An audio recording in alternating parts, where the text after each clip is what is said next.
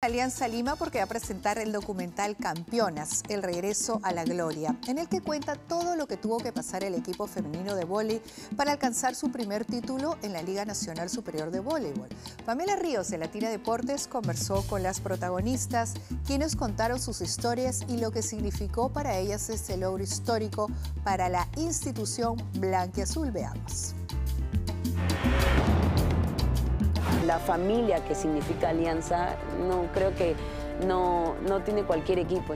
De la manera en que se dio, creo que, fue espectacular para nosotras como, como, equipo, como grupo y para el club en general. ¿no? El compromiso tanto de las jugadoras, dirección, tanto del técnico y el trabajo en conjunto de todos. Estoy muy, muy, muy contenta, muy agradecida con mis compañeras porque ha sido fundamental la unión un logro importante, pues las chicas al fin pudieron sacarse la espina del subcampeonato y consagrarse como las mejores del voleibol nacional.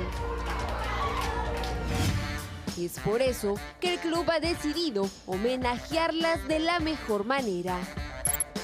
Nos encontramos en La Victoria porque en unos días se va a estrenar el documental Campeonas, el regreso a la gloria que narra justamente el título azul en la Liga Nacional Superior de Voleibol Femenino. Y hoy vamos a conocer la historia de alguna de las protagonistas. El campeonato de Alianza Lima tuvo detrás a un equipo que trabajó unido para conseguir el objetivo. Meralda Sánchez, líbero y capitana, Mari Carmen Guerrero, central y Claribet Illescas. Con apenas 25 años, Esmeralda Sánchez ya es un ícono en el vóley nacional. Llegó a la victoria muy pequeña, proveniente de Iquitos, y tuvo que dejar todo para crecer como deportista y dejar en alto la blanquiazul. Yo juego por la selección de Iquitos en un campeonato que fue en Chachapoyas. Entonces, Carlos en ese entonces fue como que entrenador de la Liga de Surco. Entonces él me ve jugando ya varios años, pero en ese campeonato él me dice como que quiero que vengas a Alianza.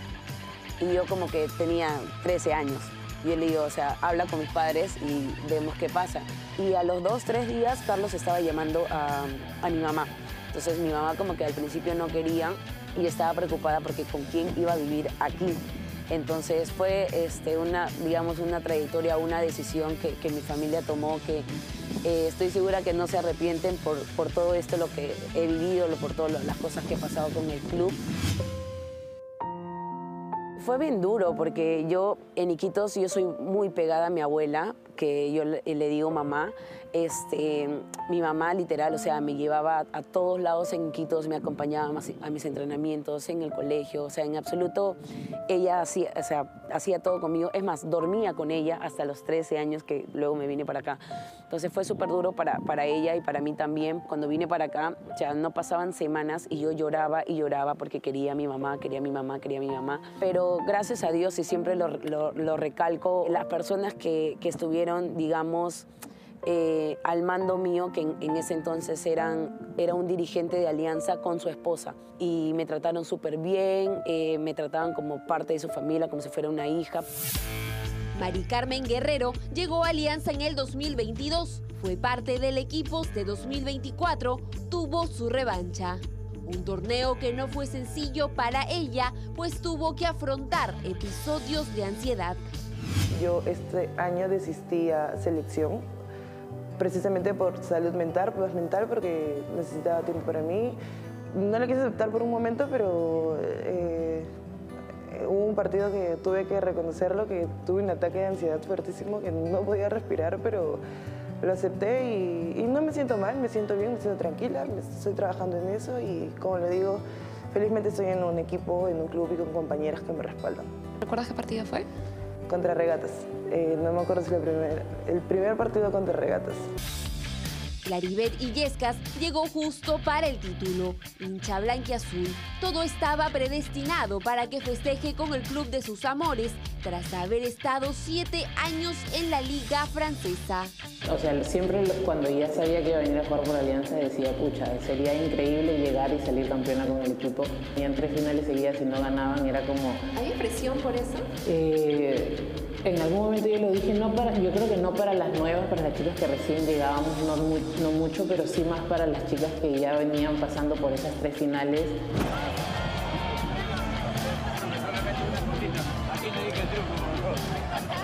Era hoy, era hoy, era hoy. Ya muchachas, no podemos esperar más. Tiene que salir ya.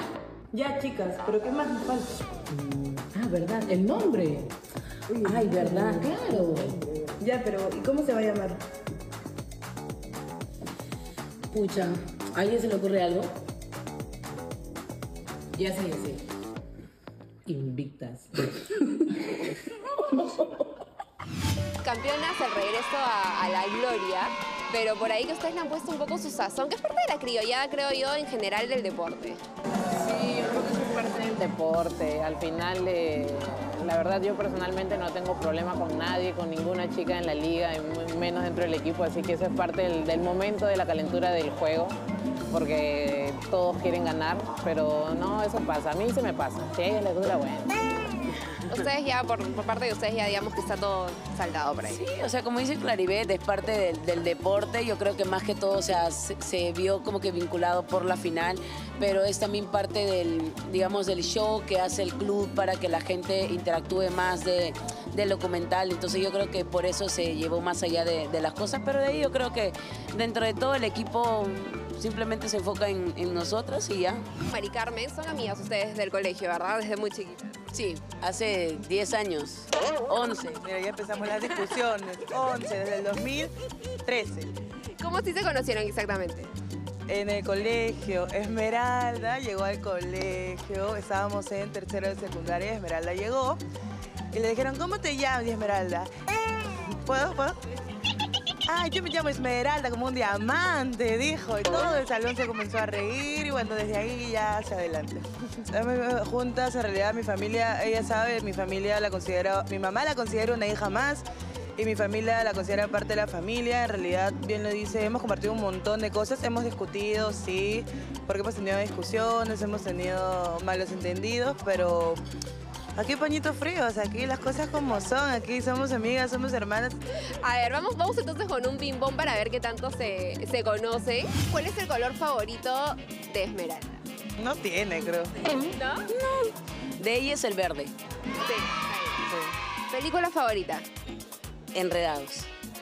No tiene. Gusta Rey Le- es que en realidad le gusta todo de Disney, todo lo que viene a ser Stitch, eh, Mickey, Dumbo, este, ¿qué te dije hace un ratito? El Rey León, todas esas cosas le gustan.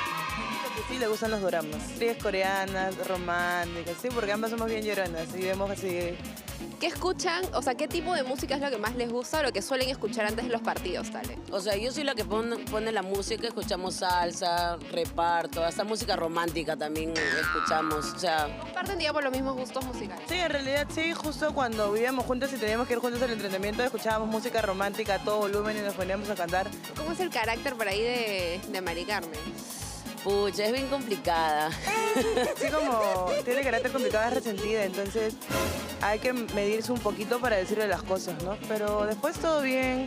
Ella siempre dice que nuestra relación más tóxica de ella soy yo y la mía es ella. Entonces es como que ya, lo te- eso lo tenemos claro. ¿Plato de comida favorito?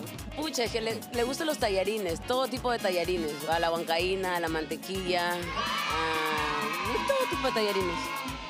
Esmeralda no sé qué plato, eh, cuál es su plato de comida favorita, pero lo que sí sé es que no le gusta el choclo, no le gustan las alverjitas, no le gusta la cebolla china en el chaufa, no le gusta el choclo en el locro.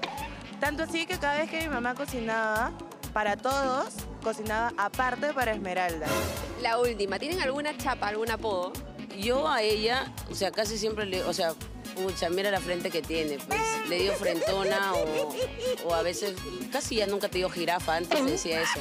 Pero de ahí, no, Mari, hermana, Chata, enana, esme, cuy. Cuando se molesta Esmeralda. Pero después, normal, no, no, no hay muchos apodos, hermana más que todo.